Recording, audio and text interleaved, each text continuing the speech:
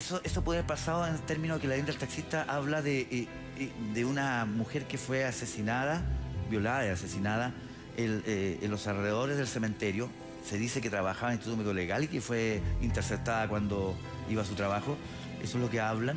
Entonces, tiene que ver con el sector. Eh, ahora, Cuéntanos un poquito la historia para, para la gente que se está sumando a la Claro, de la leyenda del taxi. Por ejemplo, antes de ir a eso, eh, generalmente cuando una muerte brusca, cuando uno dice se escuchó el piano del fallecido pianista, se escuchó al profesor entrar a su sala de clase, o sea, tenemos una tendencia que la persona siga haciendo lo que habituaba. Ajá. En el caso del cementerio, cuando hemos encontrado evidencia fuerte de un, de un alma, porque hay que también confundir con el folclore, ¿cierto? Eh, pero cuando es fuerte, se trata siempre de personas que habituaban el cementerio, como el caso que conté anteriormente de una exfuncionaria, entonces, eh, exfuncionario o una persona que habituaba al Que, que habituaban y que, si- y que siguen yendo. Y que, y o- que sigue haciendo lo que habituaba. El Ya. rondín, hay una historia de un Es rondín que, ¿sabe también. qué? Siguen Eh, apareciendo. Eso, eso yo lo he visto, porque, bueno, yo conté una vez acá que se murió un amigo mío que era el conserje de la escuela de teatro. Ah, que tú adorabas además. Que yo quería mucho y todo. Él tuvo el accidente en Loreto, como dos cuadras después de Bellavista, a una cuadra de la escuela de teatro. Y a las 4 de la tarde, un montón de compañeros, todo, N gente estaba estudiando, ensayando, como era súper habitual en la escuela de teatro. Y mucha gente vio a Jorgito, que llegó, entró, de hecho, con mi grupo de actuación también, dijo, chiquillo, y hoy día tengo algo que hacer, por favor, dejen cerrado y dejen limpio. Fue a varias salas, o sea, te estamos hablando, habrán visto a Jorgito 35 personas hacer eso, y Jorgito murió a las 2 de la tarde, y mis compañeros lo vieron a las 5 Y, de la y- y tarde. coincide con lo que dice Cristiano, es Claro. una muerte brusca. Brusca, en y accidente. coincide con que esas personas siguen haciendo la, Wow. la acción, lo que dices tú, que han hecho Que han hecho habitualmente. Vamos a la, a la leyenda del taxista para que nos puedas explicar. Claro, el taxista tiene algo de diferente. El taxista, bueno, eh, primero hablan, es cierto, de que sería una mujer que habituaba en el sector, que trabajaba en el sector. Algunos apuntan que era una exfuncionaria, eh, esto es mucho más antiguo, una exfuncionaria del Instituto Médico Legal, que fue interceptada cuando iba a su trabajo y que fue eh, violada y asesinada. Entonces, eh, después comenzaron a haber relatos de taxistas. Hay muchos relatos de taxistas. De- convengamos que seguramente hay muchos que tienen mucho de folclore también. Eh, pero este relato toma cuerpo cuando eh, empiezan a haber eh, hombres principalmente, hombres que quizás buscaban compañía o, o caer bien a, a alguna dama.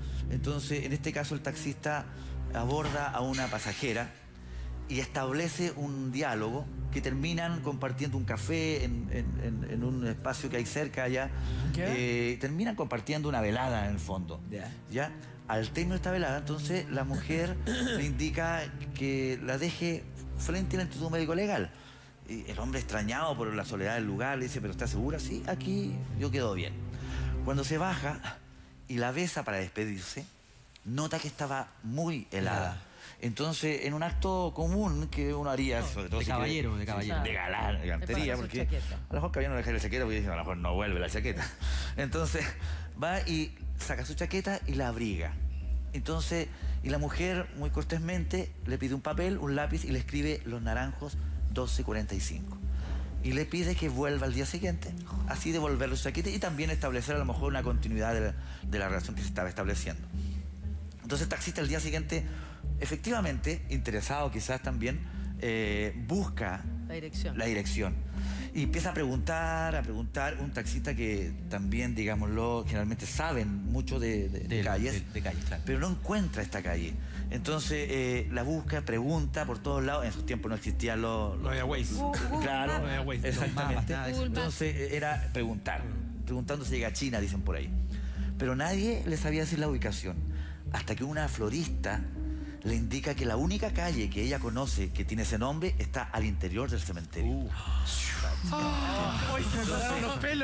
Claro. Entonces el hombre, al igual que nosotros, y con mayor razón siendo el protagonista, este, eh, quedó de una pieza. Entonces, y después de pensarlo detenidamente, quizás también por amor a su chaqueta, va al cementerio, si Belentone va al cementerio y le muestra el papel a un guardia y le consulta. Este le confirma que efectivamente aquí está la calle Los Naranjos, que hoy en día se llama Dávila, pero antes era Los Naranjos.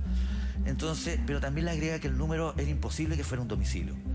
Que si buscamos este número nos vamos a encontrar que el número corresponde a una tumba. La tumba era la A una 1246. tumba, claro, 45. Entonces, el hombre ahí la piensa no tres, cuatro veces, yo creo que 25 veces, y dice, chuta, pero no puede ser esto. O sea, esto tiene que aclararse. Así que se envalentona Y va. y agarra el papel y se interna al Y va. cementerio. Va a buscar el lugar. Hasta que efectivamente encuentra esta tumba. con ese número. Pero lo peor no fue eso. La chaqueta. Lo peor fue es que sobre la tumba estaba efectivamente su No, chaqueta. Oye, qué tremendo. Qué tremendo. Entonces, ¿Qué hacía ahí con la chaqueta? o sea, ahí el hombre queda una Pero pieza ese primero. es un viejo mito, yo lo he escuchado millones de veces, ese cuento como que era un cuento de terror que yo escuchaba cuando chica. Lo que pasa es que, Que se siempre claro, era un señor y, y llegaba a la casa y la casa no existía o le habían dicho que la mujer había muerto hace un año. efectivamente se es como, confunde. por eso digo que el fondo en el Claro. cementerio también se tejen un montón. Y eso lo- a mí me alucina de los cementerios eso, porque los cuidadores y todo se tejen un montón. Exactamente. de historias Mucho folclore, Sí, es muy Llegó un bonito mensaje eso. por un, un tuit, dice, en el cementerio católico existen, dicen fantasmas que ayudan a los visitantes cuando están Sí. perdidos. Lo digo por experiencia propia, Sí, y- ¿Tú y habías quizás- escuchado de eso? Quizás va a coincidir con la historia. Hay una, una señora, una cuidadora, una señora de edad, ¿Ya? y que lo voy a decir con mucha propiedad, porque yo no voy a decir que es un fantasma, yo voy a decir simplemente que la vimos, porque para hablar de fantasmas hay que ser muy cuidadoso. Como tú bien dices, hay mucho folclore en esto, y también mucha chantería, digámoslo. Pero por eso que uno tiene que ser muy serio y, y investigar y descartar todo otro tipo de situaciones que se pueden confundir antes de hablar. Nosotros una vez, yo hice una asesoría para tour de días en el cementerio católico. Ya.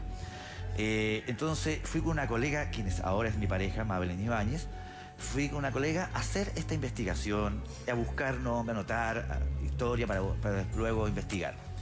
Y estábamos en eso, cuando de pronto el católico es, es mucho más fácil perderse, ¿ah? Mm. Porque tiene Sí, mucho es más... grande. más el recorrido. Claro, cementerio más católico. mucho más Sí, vericuetos, porque recuerdos. tiene un montón de pasillos Sí, y catacumbas. eh, Ay, hoy en no, día están está- cerradas, pero... claro. Precioso. No, pero es precioso. Es bonito, Y sí. Estábamos de repente medio perdidos. Entonces, eh, y de repente, mágicamente aparece una señora, como de un metro cincuenta, canosita, eh, con su cotona típica que usan para el trabajo habitual, y, y bien viejita arrastrando una piedra. Entonces, nosotros le preguntamos a ella por la salida. Entonces nos dice, sigan este pasillo, qué sé yo. Muchas gracias. Y después ella sigue caminando y dobla.